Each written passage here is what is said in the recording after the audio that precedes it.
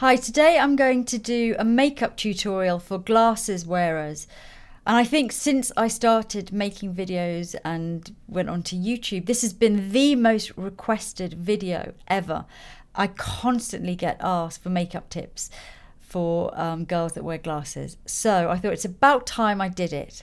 So I'm going to start with base. Now, obviously the main complaint is that you get ridges across your nose dents in your foundation the foundation comes off red marks etc the first thing i'd say is not to put a lot of foundation on your nose. If you're wearing really thick foundation anything that's denting into it or that's weigh, weighing on the foundation is going to make indentation marks. So the less foundation you put on that area, the better. Now, I know you're thinking, well, I need coverage on my nose, but there's a way of doing it, which I'm going to show you how you can kind of cheat it in a way.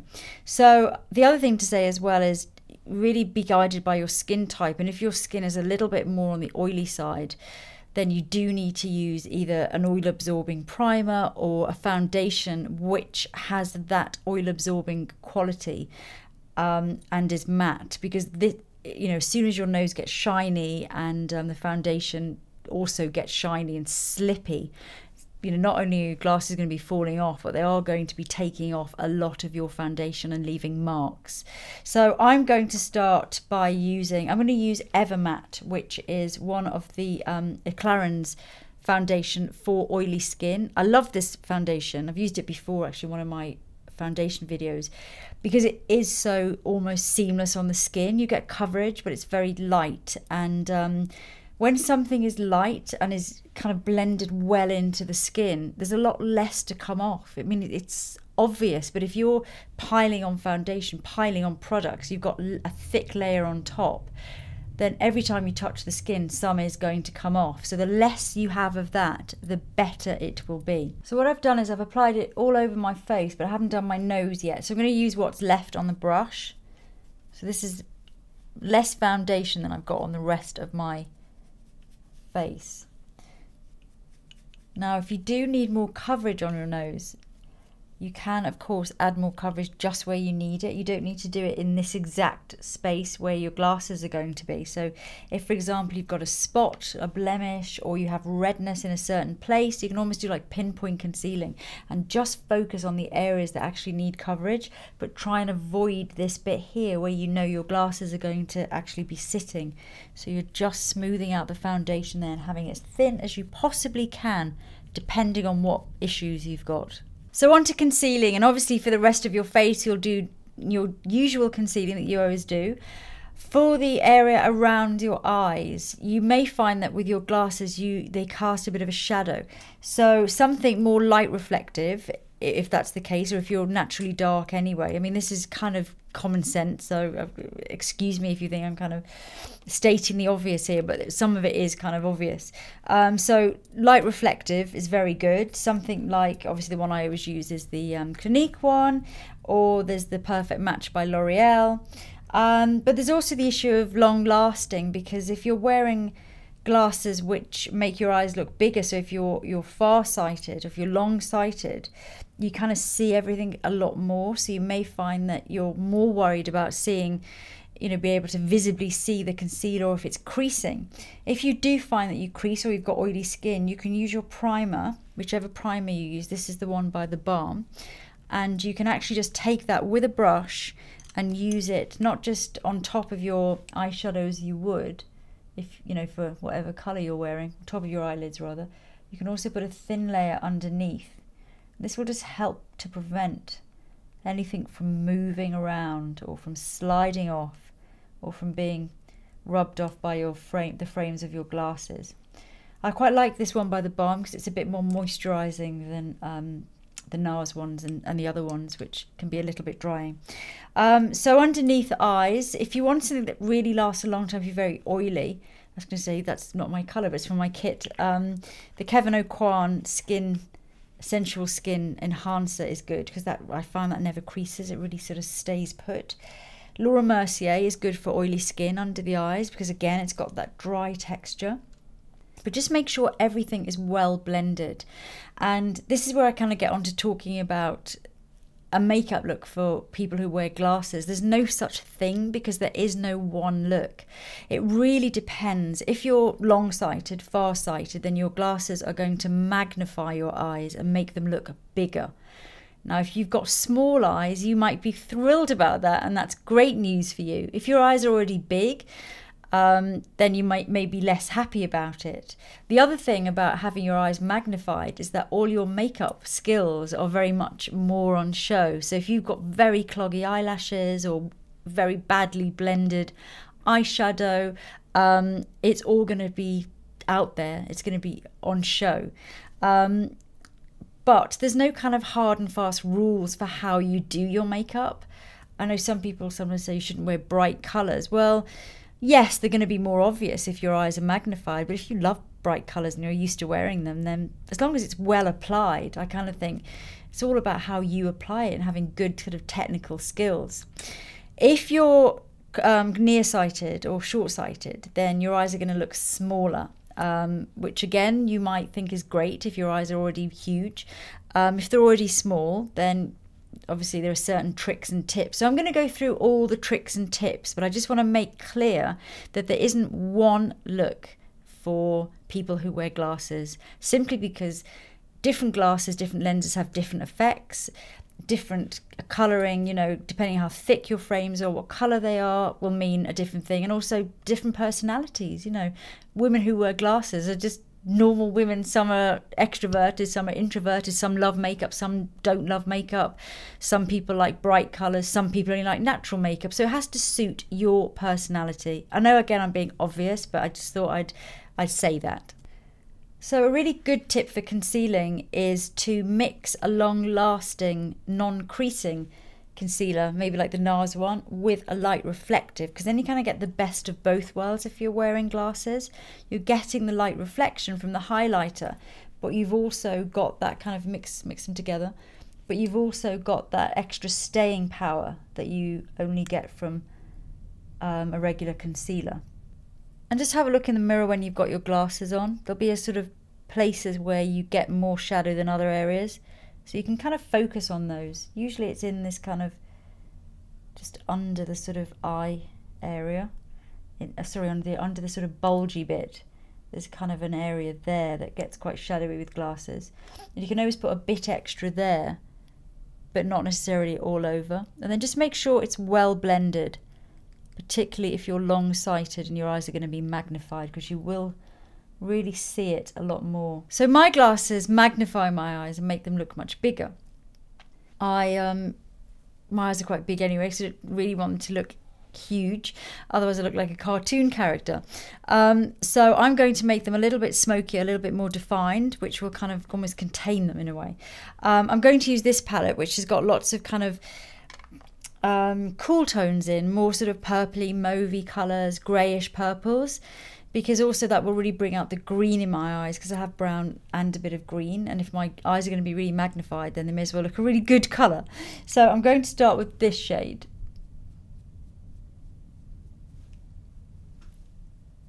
This is the rose version of the L'Oreal um, nude palette. This has got all the cool tones in.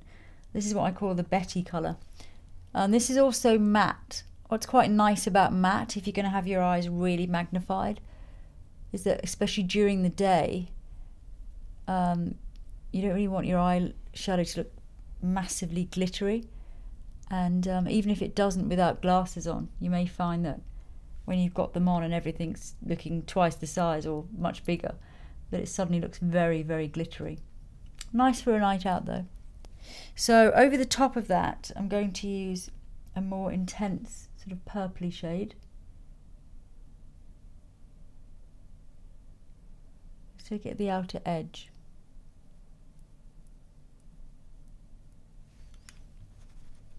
And then buff that in. This one has got a tiny bit of shimmer in, but not too much. So even if it's magnified, it should look okay. Now what I'm doing here is more of a kind of makeup to make your eyes be defined, but also a little bit smaller. If you are the opposite of me and you find that your glasses make your eyes look much smaller, then you'll be doing like a classic big eye makeup. So thinking about having a lighter tone close to the lashes to really kind of open up the eyes and light here. And if you are defining them in the socket line, you're doing it in a way that um, is not really closing the eye down. So maybe just, you know, really thinking about pulling the eye, making it look larger and, and rounder. I'm going to use a pencil. I'm going to make my eyes again look a little bit deeper. This is a black.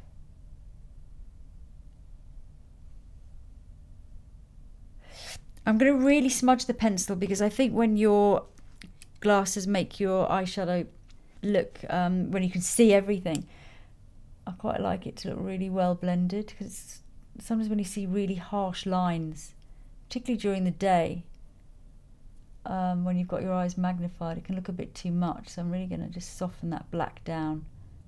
And then I'm going to put touch through the lower lashes. Just a tiny bit and then buff that in.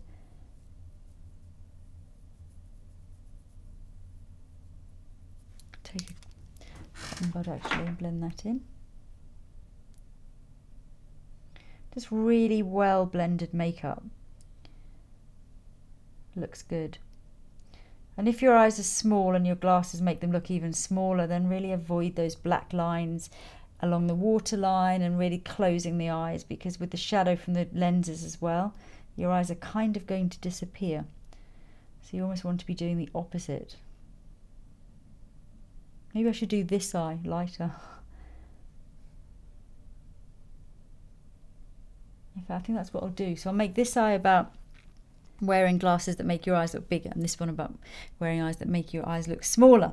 So on this eye, I'm actually going to change what I was going to do and I'm going to add more light. So I'm going to make this a little lighter here. So I'm just adding like a light highlighter.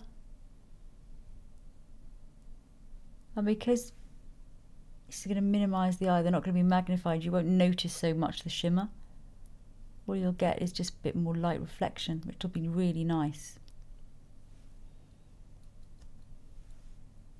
And a touch on there.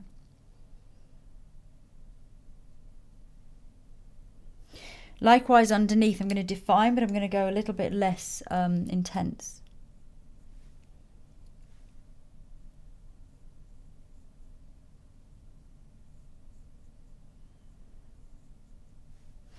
And then along the waterline, I'm going to use a light pencil here.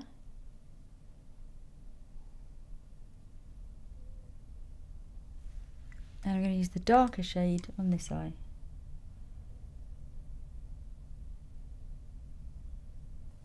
So I'm just giving a really good blend on the eye that's going to have the magnifying glasses on.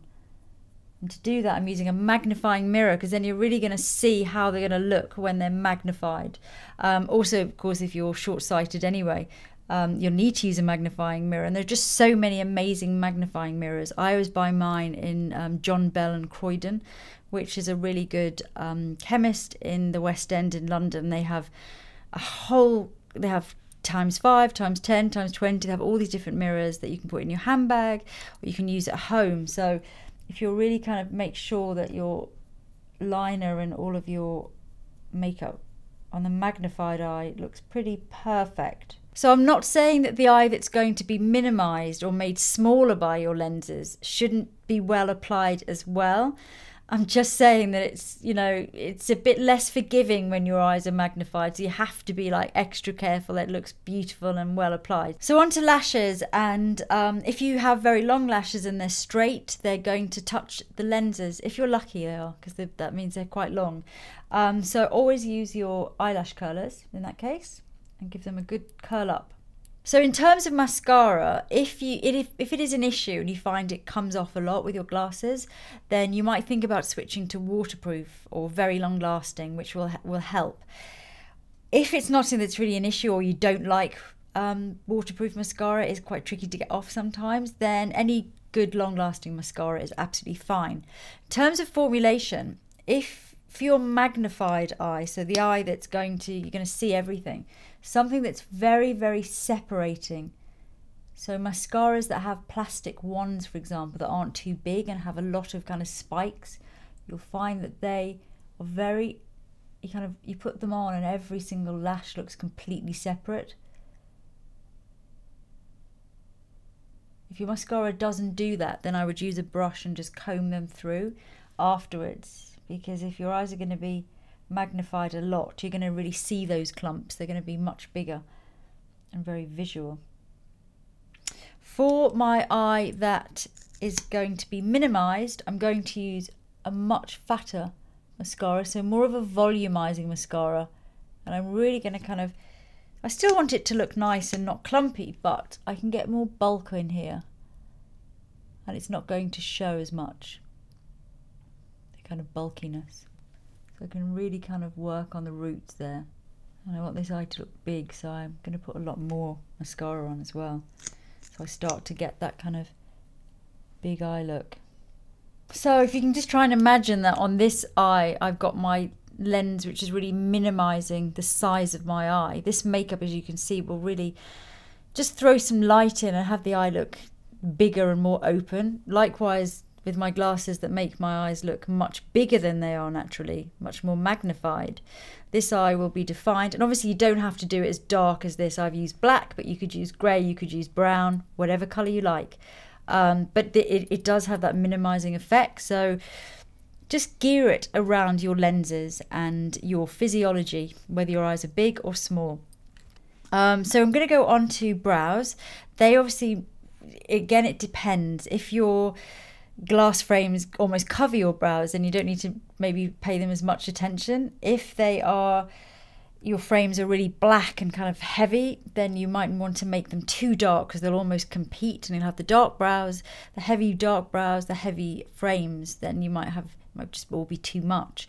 Um, but in general, I think the tip would be obviously to frame your eyes very beautifully and do it so that the eyes just look as eyebrows look as as nice and as groomed as possible. And if you're wearing lenses which minimize, uh, sorry, maximize your eyes, if you've got lots of stray hairs under here, you might not be able to see them normally, but when you've got your glasses on, everyone will be able to see them. So just make sure you kind of clean up a little bit under there. Just make it look as nice as possible. My glasses are all cat shape eyes just because I personally like that shape and I think it suits my face. So I've got them in all different colours, um, but they tend to almost cover my brow so I don't have to worry too much. I kind of have black framed ones and I've got sort of lighter ones. Also, depending what, sometimes I have my hair a bit darker, so depends what colour my hair is. That's a whole other subject, really. Glasses just suit your face shape and your hair colour. I don't think I'm going to go there today because I feel like this video is already quite long. So onto powder and make sure if you do have an oily nose that your foundation, even if it's nice and thin, which it should be, and your concealer is well set with with powder. And then in terms of highlighter, I think it's quite nice to put a little bit of highlighter onto the especially the eye that's going to be minimized and made smaller. Just put a dot here and there, just again to throw some light in there, touch up there, and you can sort of get away with a little bit more shimmer on this eye. On the magnified eye, you can use highlighter as well, but as I say, during the day, any sparkles will look extra sparkly when they're all magnified up. But of course, for evenings, it's nice. Okay, so I'm just going to finish my look with some blush, and I'm going to use powder blush and a touch of lipstick, but obviously these aren't really dependent on glasses. It really depends on so many other things. So I'm not really going to spend too much time talking about that. And a touch of lipstick, which of course doesn't matter as well, if whatever glasses you're wearing. And I can't really say now that's the finished look because I've got two completely different looks, look a bit crazy. Um, but that's kind of the point. There isn't one look for glasses wearers. It crucially depends on whether your lenses make your eyes look much bigger, whether they're magnifying your eyes, or whether they're making them look much smaller and minimizing. And then by following certain tricks and tips that I've kind of shared with you today, you can kind of balance that out so that when your glasses are on, your eyes look kind of the normal size in a way, just by kind of tweaking it and, and balancing it with makeup. And everything else really depends on your personality and what you like. I mean, I've said things today like, you know, when you use kind of shimmery or glittery colours on an eye that's magnified during the day, it might look too glittery, but maybe you love glittery. So it really depends on your taste and your personal style. So I hope that was helpful. I'm going to make a poster actually using my one of my glasses to show you how this eye looks magnified. And then I'm going to use my friend's glasses who makes her eyes look the, the her lenses make her eyes look much smaller with this one. And then I'll comp the two together so you can see on the poster frame um, how these eyes look once the right glasses are on. So hope that was helpful and I'll see you soon